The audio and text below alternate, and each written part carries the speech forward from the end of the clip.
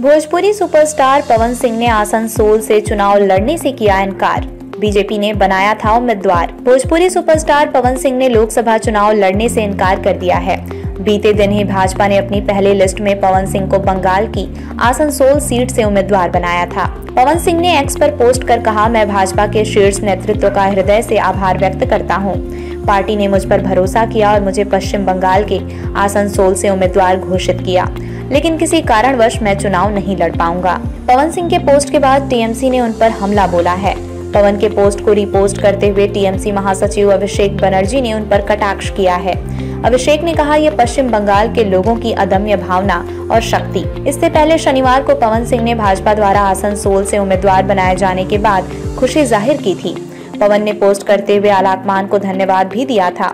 उन्होंने कहा था कि मुझे उम्मीदवार बनाने के लिए वो राष्ट्रीय नेतृत्व का वंदन, चंदन और अभिनंदन करते हैं। पवन सिंह को भाजपा ने आसनसोल से अपना उम्मीदवार घोषित किया था, जहाँ से तृणमूल कांग्रेस नेता शत्रुघ्न सिन्हा उम्मीदवार हैं। हालाँकि पवन सिंह ने अपने फैसले के पीछे का कारण नहीं बताया, लेकिन उनकी उम्मीदवारी का टीएमसी ने कड़ा विरोध किया था। टीएमसी ने आरोप लगाया था कि उनके कई गाने भद्दे होते हैं और उसमें महिलाओं को अश्लील तरीके से चित्रित किया जाता है। सभी दर्शकों से रिक्वेस्ट है कि वीडियो को लाइक करें, शेयर करें और सब्सक्राइब करें और बेल आइकन दबाना ना भूलें।